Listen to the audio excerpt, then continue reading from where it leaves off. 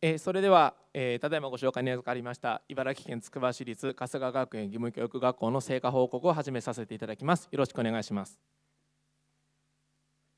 それでは本校の研究課題と成果目標ということで3点挙げさせていただきます。1点目が本校の以前の授業では考えを高めよう時間が取れないという課題がありました。その課題に対し ICT 機器を活用することで生徒が児童生徒が考える時間を以前より長く確保することを目標としました。2点目が授業中の発表が一部の児童生徒に偏ってしまうという課題がありました。これに対し ICT を用いることで全員参加型の学習スタイルを構築することを目標としました。3点目が学習が学校内での学びにとどまり広がらないという課題がありました。この課題に対し学びの広がりが得られるような ICT 機器の活用方法を検討し実践するということを目標としました。でここからは先ほど述べた3点の課題に対して実際の実践事例をご紹介していきたいというふうに思います。まず1点目の考える時間を以前より長く確保するという点についての実践事例です。以前の本校での授業ではこのように紙ベースの形こちら板書されているのは思考ツールですけれども板書ベースで授業を行っておりました。でこういった以前の形に対して ICT を活用した形例えばこういうこのようにプロジェクターを用いたりですとか冒険組んで実際に児童が自分で考えたものを取ってこれをまあ投影してみんなに伝えるといった学習活動。また教師が学習課題を児童生徒に伝える際に、まあ、このように機器を活用するといった事例があります。こういったことであのその分、まあ、思考する時間や共同的な学びをする時間が確保できたのではないかというふうに考えています。でまた、先ほどあの共同研究のご報告でもお話があったんですけれども、まあ、本校でも反転授業というものにも取り組みました。ま先ほどご紹介がありましたので端的にご紹介しますけれども従来は一斉学習から自宅の学習で理解の定着という流れだったものが、まあ、動画を活用し自宅で予習をすることで、まあ、学校の授業では実際に共同学習や個別学習に時間を割く、まあ、暗転学習、まあ、英語ではあのフリップとクラスルームというそうなんですけれども家庭と学校の役割を反転させるといったものになります。でこちらが実際に児童があの自宅で学習した動画になります。はい、えー、それでは、えー、授業の方を始めていきたいと思うんですけれども、えー、見えてますでしょうかね。はい、えー、それでは、えー、算数の教科書の141ページを開いてほしいと思います。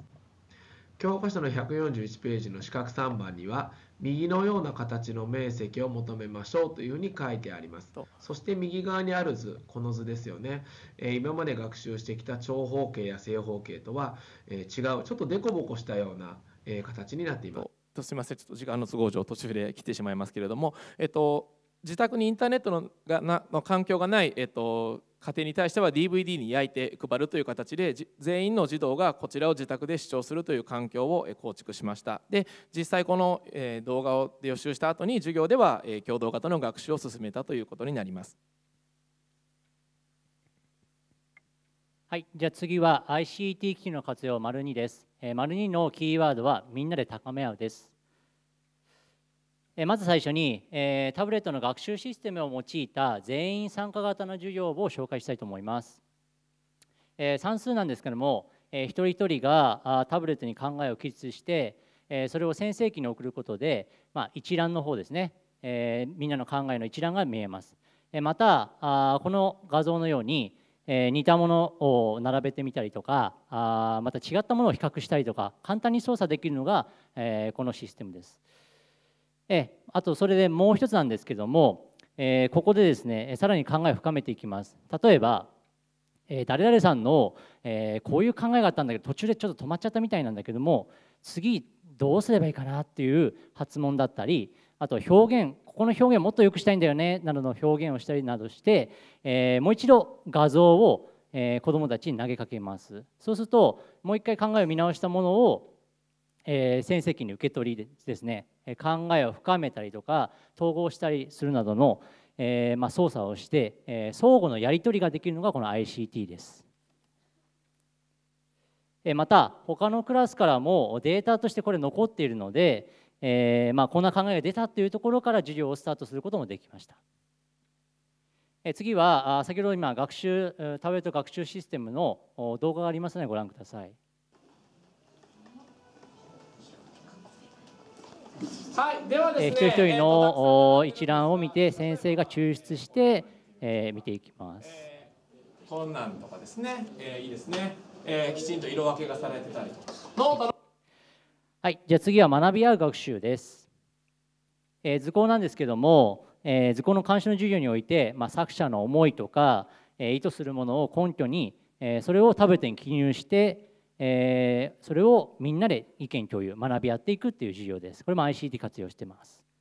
えー次は音楽なんですけども、えー動画あります。歌う姿をタブレットで撮って、えー自分たちのパフォーマンスを評価しまた改善していくといった授業です。見直してますね。え次は体育でもタブレットを活用しています。えマット運動の実技をタブレットで撮って、えその動画を見て分析して、え技の完成度を上げていきます。ただ自分の動画を見るだけじゃなくてこのソフトにはえお手本というものがありますのでお手本と比較してえまた分析することも可能になります。え次は音楽ですけどもあのまあボーカロイドを活用して、えーまあペアで議論しながら作曲をしていくといった授業です。続きまして3点目の課題です学びの広がりというところで実践事例をご紹介いたします。えー、と1つ目が校外学習における活用ということなんですけれども、えーこちら鎌倉に6年生が校外学習に行っている様子なんですけれども、えっとこちらタブレットで写真を撮っている様子がありますけれども普通校外学習に出かけてこのような判別研修を行った場合学校に戻ってから成果をまとめて発表するという形が一般的だと思います。しかし本校では、えーこの実際鎌倉に行ったその後ホテルに戻って夕食後にこのように、えー実際日中に撮影した写真ですね。その中から使う写真を選んで、えー話す内容を考えてその日のうちにもう成果を発表してしまうとあの子どもの感動が冷めないうちに発表するという、え取り組みを行いました。そしてこここれは鎌倉駅西口のコンビニです。えっと福島県浦本大市に前行った時にはセブンイレブンも赤い色が制限され茶色になっていました。そこでまだ昔の雰囲気が保たれているのは鎌倉市でもまだ制限されているのかという疑問が出たためこの写真を撮ってこのような形で発表を行いました。タブレットがあったからこそできた活動だと思います。またこちらは算数4年生の平行や垂直といった定義を学習した後に教室の外に出てですね校内の中で垂直や平行を探そうという学習になります。こちらスカイプを用いた他校との交流ということなんですけれども、え小学校3年生の社会ですね地域の特色を調べてですね、え市内の学校だけにとどまらず県外の学校ともお互いにあの調べたことを発表し合うという活動を行いました自分の地域の特性と相手のあの地域の特性を比較して、ま、検討するといったような活動が行われましたでこちらは9年生の社会の実践なんですけれどもゲストティーチャーによる授業ということで思考ツールを用いて、まあ、思考可視化してですねゲストゲストティーチャーと、ま考えを共有することで、まあ、スムーズに授業を行うことができました。とまとめに入っていきますけれども1年前この場で中間報告をさせていただいたんですけれどもその時にあの計画していたことに対する結果のご報告です。1点目が現在の取り組みを学校全体で共有し事例を増やすということをお話ししたんですけれども、えー昨年11月10日の公開授業では、54の公開授業を実施し2年間で110の事例を作ることができました。2点目の学びの広がりという点に関しては先ほどご紹介したような事例をたくさん蓄積することができました研究の成果です。3つの課題への対応策を踏まえた授業スタイルを構築して、このようにですね実践事例集を作成することができました。また、え年間3回の公開授業を行い1000人を超える来校者の方に来ていただきまして私たちの研究を、ま、多くの人に広めることができたという一つの成果があります。